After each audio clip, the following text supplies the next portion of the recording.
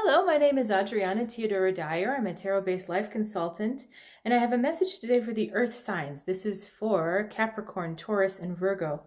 Very strange thing happening this week. The water readings had a lot of air, or no, yeah, the water readings had a lot of earth energy, and now the earth readings have a lot of water energy. So think y'all are switching places or something. Not sure what's going on there.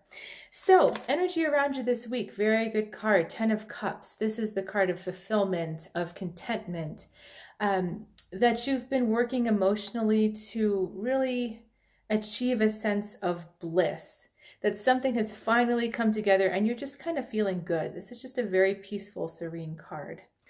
And because of that, so you're feeling pretty good about it. We've got the Ace of Pentacles, and you're thinking, okay, might be time to start something new. And it might be time to grow something new. We we finished that. Now we're gonna grow something. And pentacles are things that happen on the earth. So materials, health. I guess clothing is a material, but something about, you know, your general appearance, but your presence in a physical body.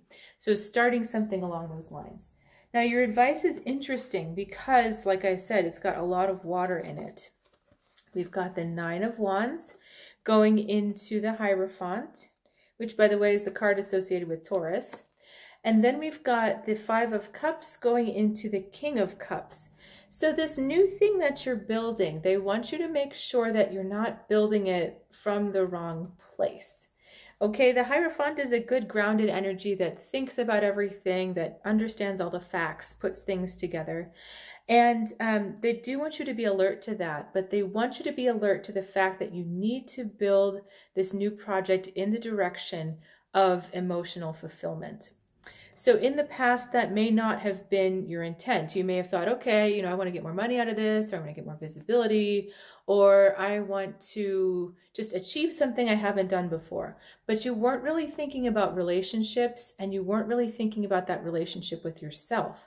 So now the idea is this new project, how can I make it part of the fulfilling relationship I have with myself so that I don't feel loss, so that I don't feel sadness for something I've missed? Because sometimes, you know, we earth signs get so practical and we also like to bury our emotions and we forget that we need emotional support just as much as the person that cries at the drop of a hat or the person that you can read their emotions all over their face you know we need that that emotional support just as much and so this project and this new focus or new whatever you're starting this the call this time is to make sure it's emotionally satisfying that you feel emotionally fulfilled and that you feel really really emotionally supported so for some of you, this is just the relationship inside of you, between you and you.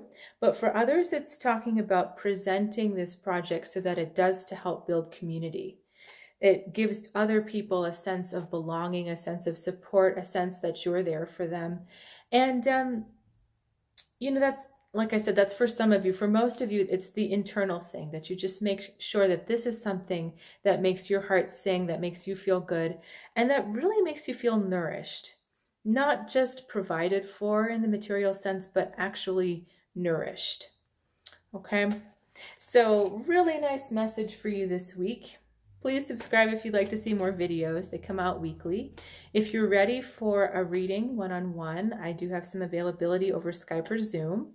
Um, we can schedule them according to your availability and mine, very convenient.